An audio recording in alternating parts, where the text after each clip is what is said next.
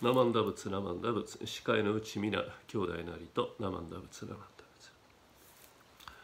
えー、数日、えー、ふつちょっと違う話ばっかりでしたけどようやっとあのカナダのレーモンド仏教会の歴史についてのお話に戻ることができます、えー、このカナダのレーモンド仏教会の歴史ということになるとかなり川村雄哲先生という方の歴史とダブるところがあります。それだけ川村先生の存在がこのレーモンドやレーモンド周辺の南アルバータにおいては影響が大きい方だったんです。でこの川村先生私のところから車で30分ぐらいかな前原市磯っていうところに、えー、浄明寺というお寺があるんですがその浄明寺のお寺のご出身なので私何度も浄明寺さんに伺いまして川村先生のことや、えー、川村先生のご子息で、えー、カルガリー大学で仏教学を講じておいでになりましたレスリー川村先生のお話を伺ってよくお話をしたものです。えー、その浄明寺さん本当にこうすぐそこに琵琶湖があってでこう琵琶湖の波の音がシャーシャーって聞こえてくるような、そんな素敵な村の素敵なお寺です。ね、そこから、カナダの、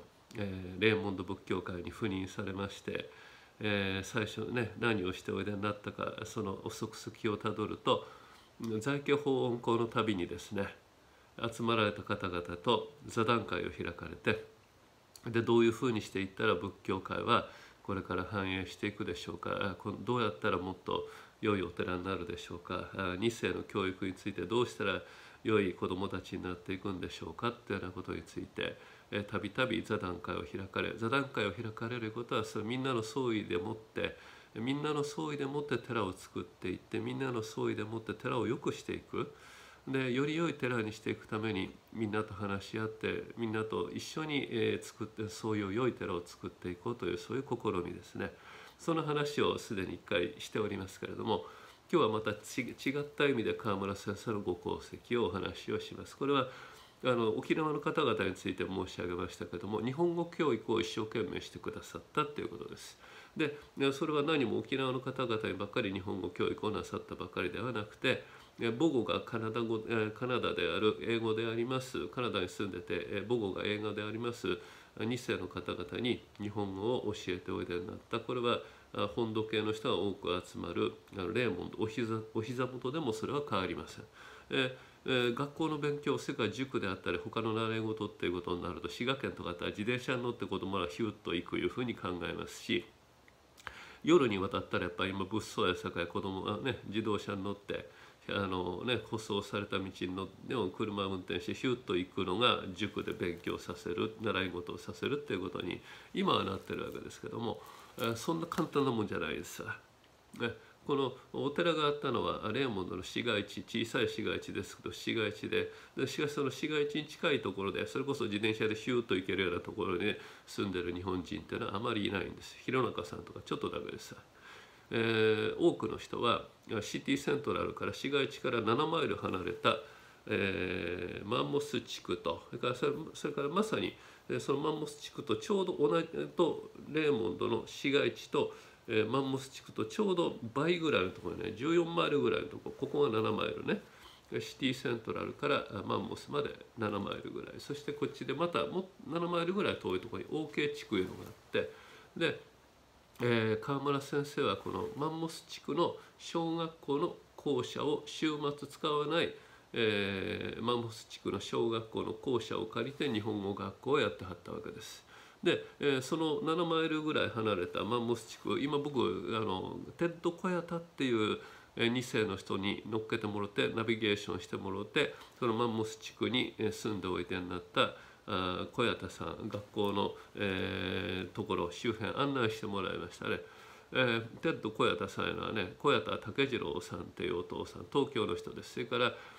伊佐さんといいまして、滋賀県彦根市本庄私のところは23キロ愛知川っていう川を、え、河口に行ったとこ下手にある村から行かれた奥さん、え、この方々の何人かお子さんおいでになるんですけど男の子としては長男で一番上にとし子さん田中敏子さんというお姉さんがいはるんですけどそのテッド小谷田さんに道案内してもらってこのレーモンド仏教会やえー、かつてお住まいだった地区をこう連れてってもらいましたね。でそしたらどんなことがあったかって言ったらねこのシティセントラルからちょっと離れたらねあっという間にねすごい田舎なんですでそれがカナダから大草原の小さな家みたいなのでねドワーッと平原が続くんですね。でそこに舗装されたない今も舗装されたない道にダーッと行ってねでそして、えー、ちょっとそこで止まってください言うてね、まあ、6マイルぐらいいたのかね。で「はい、はい、言うて止まってね。であそこに私の家がありました。でこの一回話したけど「はああんなとこにあったんか」ってね。であの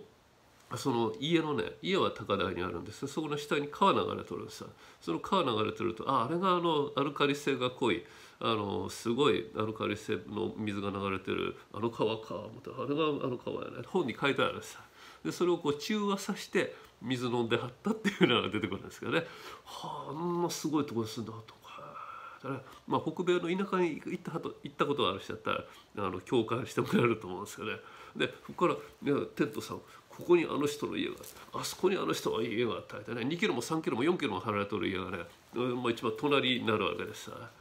やすごいな。滋賀県の集落で固まって住んでるもんねさかい。やすごいとこやなってね。でそれから元学校があったとこにあの連れてってもらってここの十字路のここに学校があったんですよでえー、そこにあみんな集まっておいでになって先ほど言った OK 地区の人なんかは7マイルぐらいかけてその日本語を習うためにこのマンモス地区の学校に来てでマンモス地区の人歌ってそんな自転車に乗ってヒュッというわけにはいきませんから馬車に乗って、えー、学校に来ると。で川村先生はどうしたかって言ったらピュッと車に乗ってってわけにはいきませんからね前の日にテッド小谷田が馬車に乗ってシティセントラルにあるお寺まで行ってで川村先生を迎えに行くわけです。でお寺に住んではるで今お寺今皆さん想像するようなそんな住環境やなくてねもともと学校の校舎やったものがモルモン教徒の人が教会堂にすることで、買われてでモルモン教会の人たちがもっと立派なでっかいごっついあの教会作るから言って君ら売ってあげるよ言って5,000ドルでその元校舎で元モルモン教の教会堂をやったところを日本人の人は買うたわけです。で元学校ですから住環境というのかなえー、人が住めるような設計になってなかったんで川村先生のごあのご夫婦お子さんたちはその住環境としては適してないような学校の中で随分と苦労されながら住あの、えー、住環境としては随分我慢しながら暮らしておいでになったそこに、えー、迎えに行かはってですねで7マイルね馬車でテコテコテコテコとあの連れて川村先生を迎えに行くのはテッド小谷田の仕事やったんです。でこれ晴れた良い日やったら別に大したことはないと思うんですけどまず雨が降ったらですね、えー、このレーモンドとかね粘土質なんでぐじゃっとなりますね。ぐにゃっとなるところをあの馬車の車輪随分とあのなんていうかな沈み込んで大変やったと思いますけど、えー、それをこうまず自分の家まで、えー、連れて行かれて川村先生そこで一泊してもらいます。真冬まだだったらどんな辛かったと思いますけどね。えー、もっとね雪が降って寒いマイナス30度ぐらいになるとで真夏は真夏でまた暑いんですさ北やから大したことないでとんでもない話で日照時間がめちゃめちゃ長いですからね夜ほとんどありませんからずっと太陽照ってるからめちゃめちゃ暑いんですさでそういう時にでも川村先生は7マイル乗せてもろて次の日小谷田さんのところに泊めてもろてで朝 エクササイズしてね。でそれから、えー、あの借りてる学校の校舎で日本語を教えて日曜学校やってで、え戻ってこられてであの、まあ、夏の間やったらそのままあのいあのまたテッド小谷田の馬車に乗って帰らはったと思いますけどそうでない時期はやっぱもう一回、えテッド小谷田の家にあの小谷田武次郎さんのところに泊めてもらってでまたあのテッド小谷田の馬車に乗って7マイル帰っていかはったんやと思いますしこの OK 地区の7マイルの人なんかやっぱお父さんお母さんに連れてきてもらって、えー、来てはったんかな。これもやっぱりあの気象条件が悪いような時やったらマンモス地区の家の家に泊めてもろたりもしはったんかなと思いますけどもね、えー、そうやって、交通事情が悪いんで7マイル言うて今やったら車に乗ってひゃやということだけれどもそんな簡単なもんやなかって、えー、日本語習う方も大変なら日本語を教える方も大変でみんな苦しみの中で、えーそれでも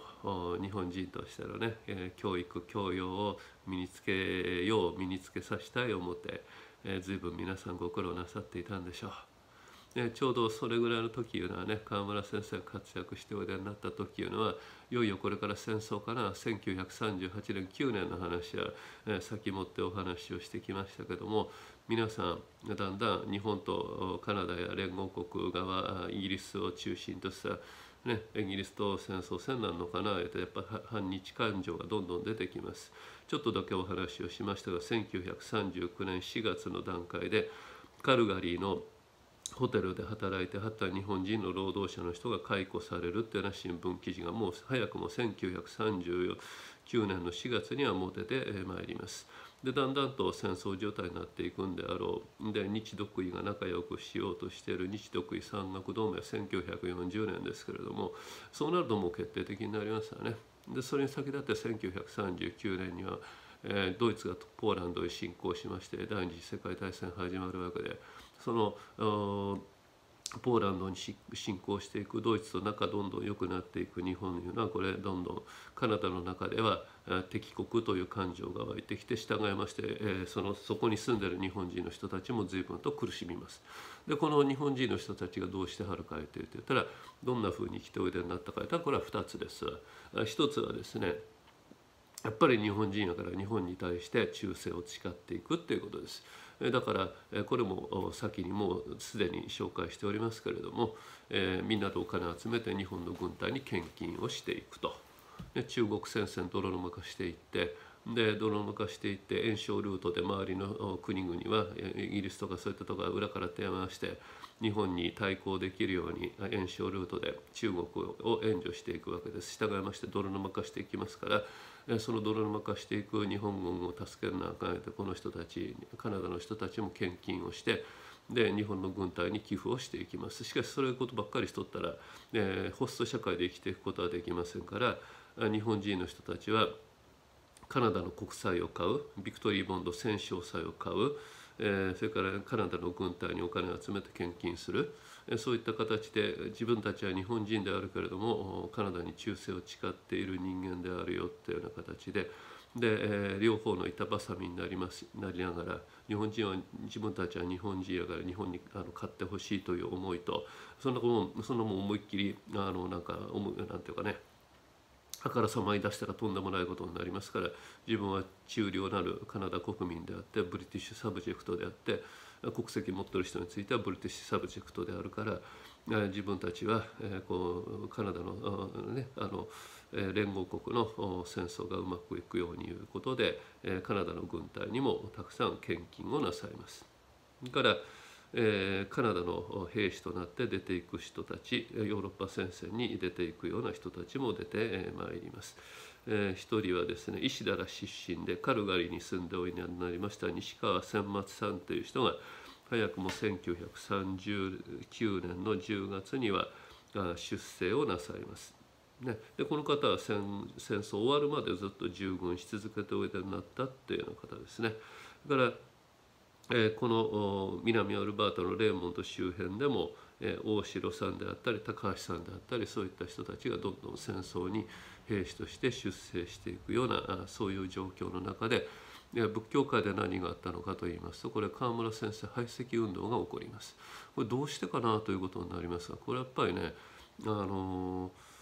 に日系人社会ってやっぱり煮詰まってる狭い中で、ね、こんだけのるつぼの中で小さいものの中で生きていますからその中で、えー、こう煮えたぎっていくわけです煮詰まっていくわけですええ時はええんだけど悪いこと悪いとなったら徹底的に悪いちょっとしたことでどんどんあの仲が悪くなっちゃうっていうことは出てきますね。それは親密な組織を作り上げるということがまた小さい社会の良いところである反面え一回あのおかしいなったらとてつもなく悪くなっちゃう。でそれが一種どこにでもよく滋賀県の場合だけではないと思うけど滋賀県の私の周辺でよく見られるのは熱心すぎるお坊さんは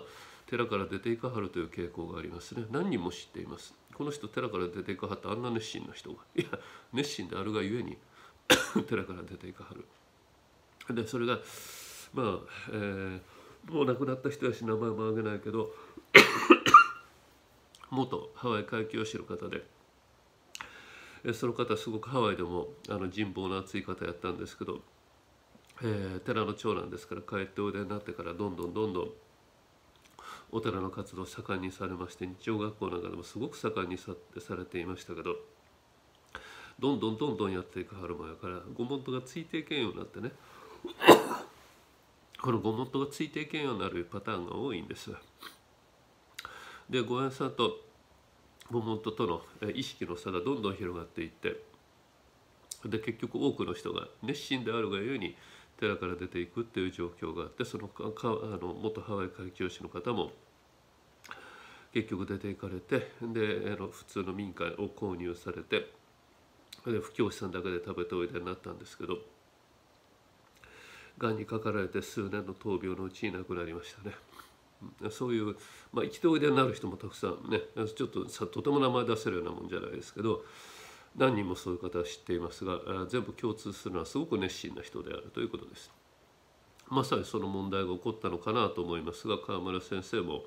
ご門徒の方々で英詞というかね尊敬され続ける人は尊敬されて今でも川村先生を慕う人はたくさんいはるんですけどそんな川村先生に対する排斥運動が起こりまして川村先生ついに糸見のうなってというか折れなくなってレーモンド仏教会を去ることになってしまわれます。で、えー、もともとはそうやって違う、ね、ご門徒方との意思の疎通の申しなんていうかな意見といいますかそういったことであのついにおれんようにならはったんですけどまあ具体あのなんていうかな名目上はですね、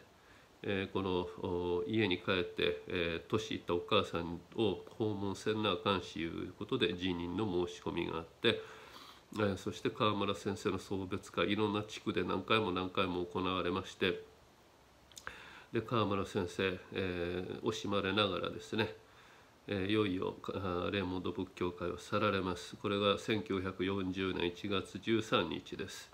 で、え皆さんで、えこう名残惜しく見送らはりました。で川村先生たちはもうこれ失意の中で日本に帰って日本で生活を立て直そうとされましたけどちょうど帰るにはどうしてもあのバンクーバーに帰らなきゃいけないんでバンクーバーの本部で帰りますみたいなことを言うとった時に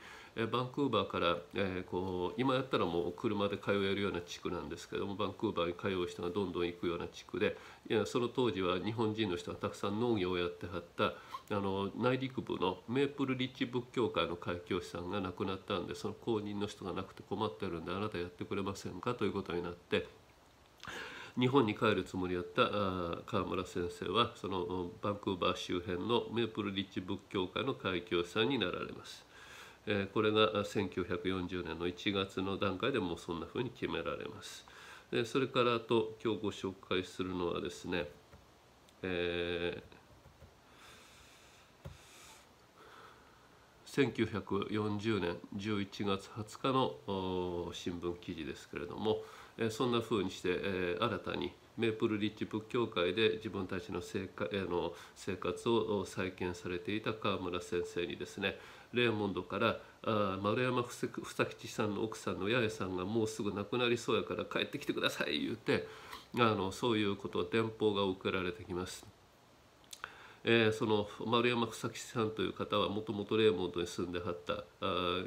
パイオニア的存在やったんですけどその人の奥さんが心臓を悪くされまして、えー、10月の上旬からレスブリッジ市内市内の病院に入ってはったと。で2週間入院されて少しあの病状があこう良くなってきたので帰宅したのですがまたもやここから新聞読んできますよまたもや新病気悪化し14日10月14日午前1時死去なさったと、えー、しかしあの死ぬ前にいっぺん川村先生に会いたいようで電報を打たはったんで川村先生は取るものもとりあえず飛行機に乗って、えー、帰ってきてくれはったわけです。えその前日亡くなる前日13日の正午メープルリッチの河村海峡氏が宮殿によって飛行機で来村信仰厚き丸山夫人は非常に喜び美しき王女を遂げたのであったな死にめあの亡くなる前に間に合ってね河村先生に一目会うてから死にたい言うてはったのを河村先生取るものも取りあえず飛行機に乗って来てくれはったから亡くなる前にお会いすることができたということです。えー、そうやって、えー、川村先生見送られて川村先生の法話聞いてお念仏聞かしてもうてお経さん聞かしてもうて丸山草木さんの奥さんの八重さんはこう王女美しき王女を遂げはった。14日夜は仏教街道で通夜を行い河村氏、えー、そしてそう川清さんの代理であった西村さんの、えにお通夜のお説教とお務めお説教をしてもろて川村先生は休憩後約1時間講話をなし一同感銘を与えた。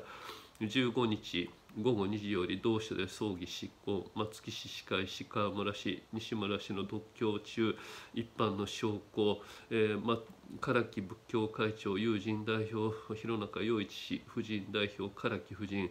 諸女会の西村幸恵城ら長寿を述べ川村氏の説教後遺族代表澤田外松氏の謝辞があって閉式。墓地へは 24, 台24の自動車が次続き当地はもちろんレスブリッジ方面よりも多数の参回送車あり正義であったちなみに丸山夫人は道場深く世話好きで一般から惜しまれていると。でこの同じ日に15日にこう川村先生を囲んだ晩祭会があってそして16日の午前9時には川村先生また皆さんの見送りによってレスブリッジ駅レスブリッジ飛行場から飛行機に乗ってで、えー、メープルリッジ仏教会に帰っていかれたということです。ね、そうやって、えー、多くの人に愛されそして愛されただけでなくていろんな問題はあったんだろうけれども、えー、そうやって、えー、問題あったかもしれんけどみんなにこう一目会って川村先生に一目会ってでそれから命を得ていきたいという人があったっていうね。それが叶ったというそういう美しき往生の話をね、えー、どうあっても聞いてほしかったんです。皆さん聞いてくれてありがとうございます。終わります。